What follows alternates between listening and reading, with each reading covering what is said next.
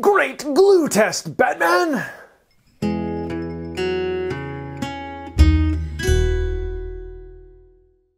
Hey y'all, I'm James Wright and welcome to my shop. I am having an absolute blast here because I love numbers. And if you look at this, this is the raw data. It is, um, well, it, it, it's a lot of data. and I've had a lot of fun over the last uh, two months or so running this whole test and getting everything set for it. I do want to say a huge thank you to Wildman Tech. He's the guy who made the testing rig. Uh, he has a video on making that. Um, he's helped me in the past and we've done several other collaborations. Uh, he's one of the guys who makes my clamps. So if you want to see that, I'll leave a link to his videos down below. And I just, I gotta say thank you. You uh, without this, without your help, this test wouldn't have happened. I also want to say a thank you to Terry Baptista. Um, you have been a huge, huge help in crunching all this data. Um, he's been helping me do the the collation and the bringing all of the raw data into something that is actually readable. and uh, it is a, a, huge help for that. Also, a huge thank you to all the patrons on Patreon and uh, the several people who have generously um, given something towards this. Thank you for that. Without your help financially, I would not have been able to do this. This is probably uh, it's a little over a thousand dollars out of my pocket to actually make this happen in purchasing glue and purchasing the scale and getting everything set up. Um, it was a large undertaking. So I want to say thank you for that. And I'm hoping to do other tests in the future and some other things going on. Now that I have this rig in place, it'll be a lot easier to put some other glues on there and test it and get some more data from other points. But enough with that. Let's actually get into some of the numbers. Uh, you know, if any of you are wanting to actually look at the numbers yourself and go into the detail, I will have a link down below to the raw data and all of these sheets uh, that connect to it. And you can see I have all these papers out here of of information, and uh, you can go and take a look at that yourself. So check out the link down below when you want to uh, dive into that. Also, if you'd like information about how it was actually done and how the data was collected, the procedure for actually testing, I have a whole link to that video down below where I go into detail about all the types of glues I'm testing, how they were done, some of the parameters that were taken care of. Um, a couple things I didn't mention to that. Number one, I'm doing 10 tests of each glue in each situation. Um, so that means 40 tests over the um, over the four tests. There's 40 individual blocks that broke off, 10 for each test. Um, I would like to do more in the future. The uh, the standard deviation was a little bit larger than I would have liked, so it's not dead on conclusive hard solid evidence i'd probably have to do around 50 or so tests for each glue to get that um, level of evidence but it is a really clear cut amount of evidence that gives you a, a, good indication of where you're going. And uh, some of the numbers are large enough that it's it's it's fact. so definitely have some fun looking through the data. So in this we have four different tests. We have long grain to long grain, long grain to end grain, and gap filling, and then exterior water. Uh, how does it withstand to living outside in the snow and freezing conditions and water? Now, first off, um, one of the things that really made me jump into this is the hide glues. Is it better to go out and buy Old Brown or Titebond liquid hide glue? Or is it better to make your own hide glue? Now, there is something to be said for making your own hide glue if you actually want to make your own hide glue, or if you want to use the, uh, the dry and make your own hide glue in a pot, or actually make it. Um, that's a lot of work, but it's a lot of fun, and there's something to be said with uh, using your own glue. But the tight bond hide glue and the Old Brown hide glue are just so easy. So is it better to use this glue, or is it better to use this glue? And if so, which one? Is it really worth your time? And so this is what brought on this whole glue test. So I figured I'd start there with the data from the hide glues. Basically, the number one overall hide glue was my homemade hide glue, which actually surprised me. I kind of expected it to do a little poor. It is a little bit clearer of a hide glue. It doesn't doesn't have quite the coloring, uh, but in most cases, it stood up fairly well. And in the exterior test, it was the only hide glue that actually had a couple blocks that held on. Uh, so even for exterior work, it still had some strength. Um, though I would not use this for an exterior glue, it would it would fail eventually. But to answer the question between do you use liquid hide glue or dry hide glue, the, the numbers came out fairly close. In most cases, Old Brown or the Tight Bond hide glue ended up being a little bit stronger than the dry hide glue, but not by a whole much. And as to the hide glue strengths, the 315 was stronger than the 251, which was stronger than the 192. Just as we expected, they actually held up just about the exact same on all three tests. Well, all four tests except for all of these failed the external, so eh, don't use the hide glue outside. So let's jump into long grain to long grain, the most common glue joint, and this is kind of the one where a lot of people are wanting to know what glue should I use? And it was a kind of a surprising thing. The number one long grain to long grain glue was cheap super glue. That blew my mind. um, big time. This is the stuff that I bought at uh, um, at the dollar store, and was phenomenally good. It was significantly better than most other glues. Now, that being said, the amount of force that this provided was far, far stronger than the amount of force that would be needed for any particular joint. Even if you had a sloppy joint, uh, this provides far more strength than you need. But coming up closely behind the super glue was actually the epoxies. Uh, number one, slightly higher, was the East Coast resin. But right behind that, just by a couple pounds, was the West System epoxy. And in particular, it was the West System fast epoxy that did better than the slow epoxy. I kind of thought that the slow epoxy would do better, but in all cases, uh, except for end grain, the fast epoxy did better. So that was kind of surprising. But close in behind the epoxies, you have Titebond 3 and Titebond 2. They were about 10 psi between the two, and they were really, really close. Um, Bond 3 doing ever so slightly than Titebond 2. Um, so, yes, this is a phenomenal glue for long grain to long grain. And if your joint is even slightly good, even if it has some gaps, uh, this is the glue you want to use. Um, Bond 2 or Titebond 3, they do a great job together. I think I'm going to be continuing to use Titebond 2 as my primary long grain to long grain glue. Number one, because I can get it in these gallon jugs rather affordably. And number two, it was right up there with all of them. I'm not having to mess with the epoxy. I can just put it on and go. I like this stuff. I trust it. Then right behind the PVAs, we run into Old Brown Hide Glue. Uh, really, really good glue. It wasn't quite as strong as the PVAs, and you can see it as the uh, as you get into the dry glues. They were a little bit weaker, but not by that much. They are still a really significantly strong glue, and if your joint is decent, that will do all you need and far more. So hide glue, yeah, good long grain to long grain glue. Then up next we have the uh, the 2P10 glues. Uh, the, they're basically a super glue, a cyanoacrylate and they did surprisingly well. These held up really, really well, particularly the gel and uh, um, the thick glue. They they held their strength for the long grain to long grain. So um, a good glue. I am going to be using these far more now. Seeing this, I am very surprised. The one question I have is how they will last over long term. Uh, so I might be doing a long term study, you know, every six months for the next 20 years or so to see, you know, do they stand up to that? But uh, see how that comes out.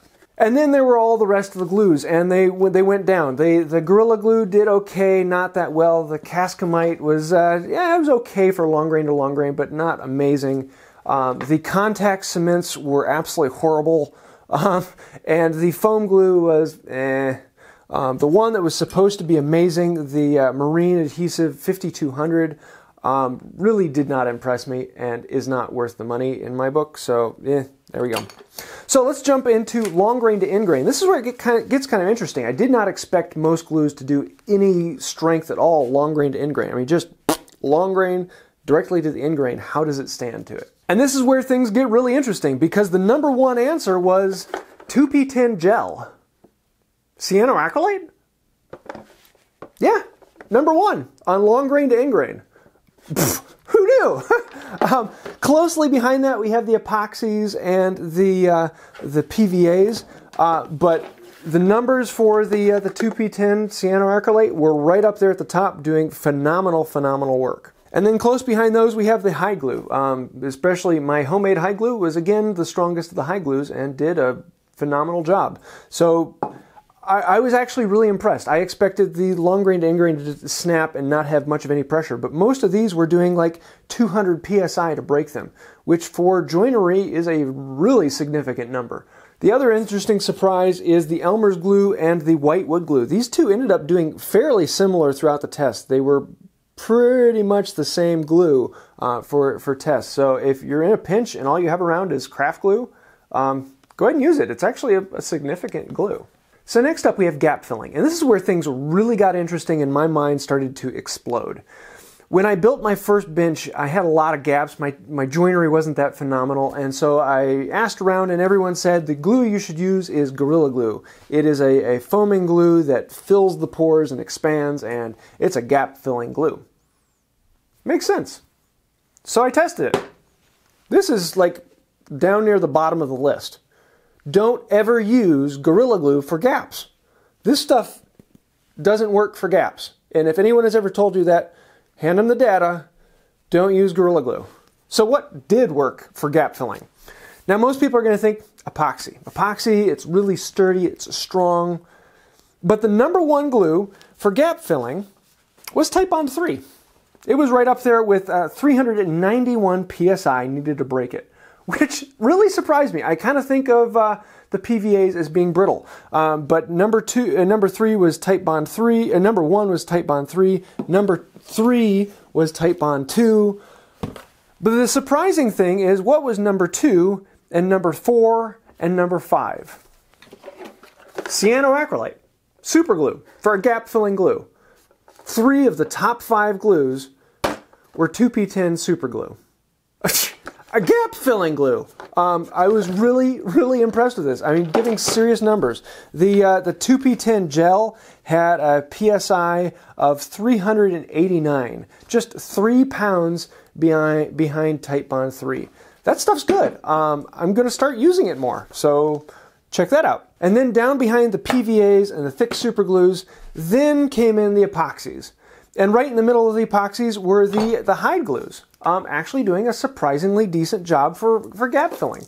Um, if I had to choose one or the other for gap filling, I'd probably choose a PVA over a hide glue, but it does a decent job, and it, the poundages coming up for it were, were phenomenal. For instance, the uh, homemade hide glue had a PSI breaking strength of 276. Um, that's really impressive for gap filling. So the next up, let's dive into the outside glues. Now, I have always thought that Titebond 3 is the outside glue. It says waterproof. And Titebond 2, if you look on the label, it also says water resistant. That's got to be what you should use outside. Unfortunately, Titebond 3 and Titebond 2 and all the PVAs basically failed. Most all the blocks broke off before they even got to the test. Um, now, to be honest, I had a rather brutal test because they were sitting outside on my table through several freeze thaw cycles. They were getting wet, they were getting snow, they were getting frost. But all they were doing was sitting outside. And in most of the blocks, they fell off before I could even get them inside to the test rig. So for an outside glue, uh, I don't think I would use a Titebond 3 as I would have in the past. The glues in number 1, number 3, and number 4 space are all 2P10. the gel and the thick glue actually did really nice in the exterior glues. For instance, the 2P10 gel had a 337 psi. The 2P10 thick with activator had 312, and without the activator had 298. Um, all right in the same ballpark of being a significant glue for exterior work. So I was really impressed with that. And then right in amongst and right behind that are the West system, and particularly the uh, the West system Fast did really really well for exterior work. So for me, I think for my exterior work, I'm going to be using epoxies in the future. They are strong enough that I, I can trust them outside. So I, I, think that's going to change something I do. I'm not going to be using the Titebond 3 anymore. I'm going to be using the epoxies for my exterior glue ups. The one that really surprised me is this marine glue that I was told is the cat's pajama and the stuff you should be using. It is the 3M 5200 and it comes in a caulk tube. I think it's more of like a construction adhesive, but it's designed for marine applications. I was really not happy with it. It was about halfway down the list, and right behind it and in pretty close proximity is my homemade hide glue. Um, so, yeah. Uh, I was not happy with it, um, and I really couldn't see any particular use in any of these for wood-to-wood adhesion for the 3M5200. So yeah, not worth it. So if you really want to see any of this data, all of it is down in the sheets below. Go ahead and crunch the numbers. I would love to hear what is surprising to you. The, the biggest surprise to me is how strong the 2P10 and cyanoacrylate, and particularly the cheap superglue. And in most instances, the cheap superglue is right up there with the thick and gel 2P10, um, doing really, really well.